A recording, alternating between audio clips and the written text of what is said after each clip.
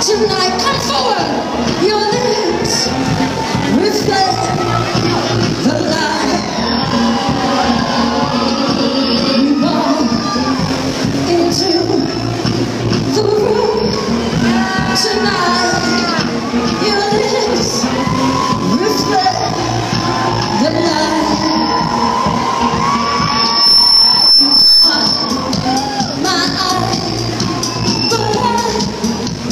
inside.